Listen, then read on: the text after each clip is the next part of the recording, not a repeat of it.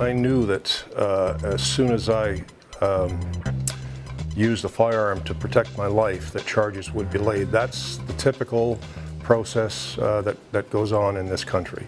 The Crown seemed to have an agenda to make an example of me that would put the fear into every firearms owner in Canada that you are not allowed to defend your life.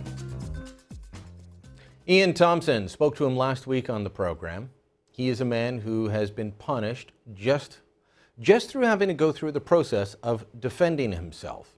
And he has to defend himself against the Crown prosecutor upset that Thomson defended himself against four men firebombing his home.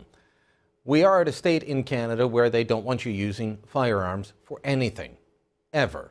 And that's the push. And as we look at what's happening in the United States, that's where they're headed.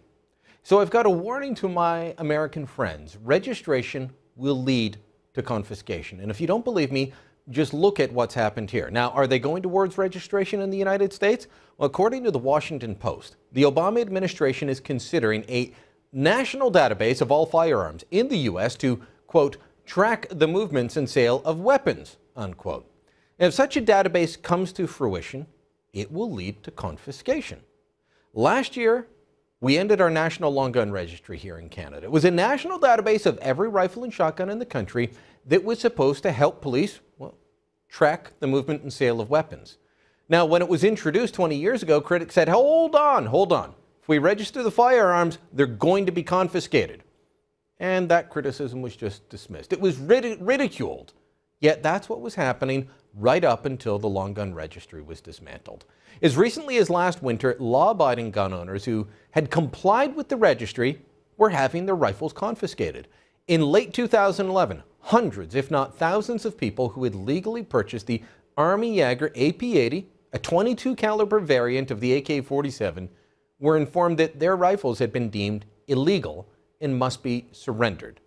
The letter read, You are required by law to return your firearm registration certificates without delay, either by mail to the address shown in the top left corner of this page or in person to a peace officer or firearms officers.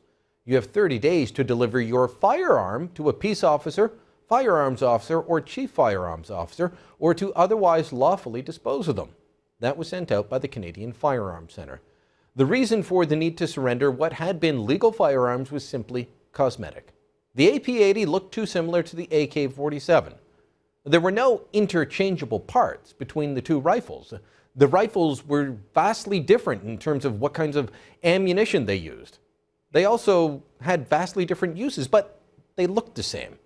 And that was enough.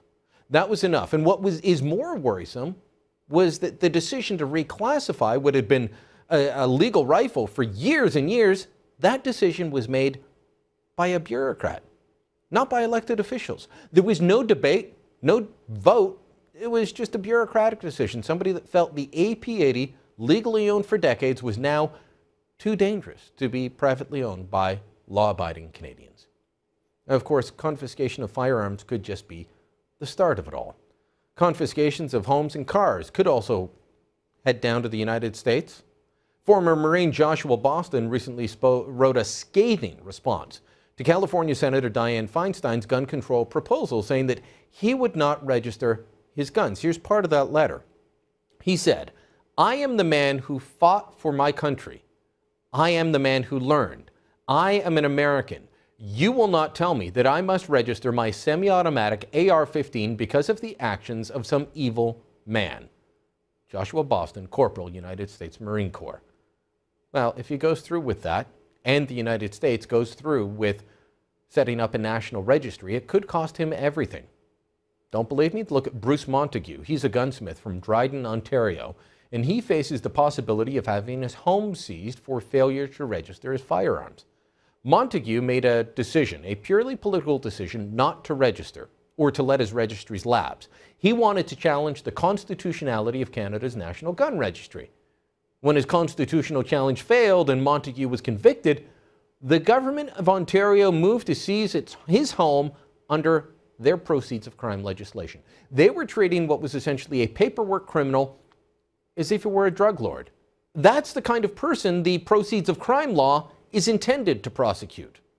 If the United States follows Canada's lead in registering all guns, putting them into a national database, then confiscation of rifles and shotguns won't be far behind.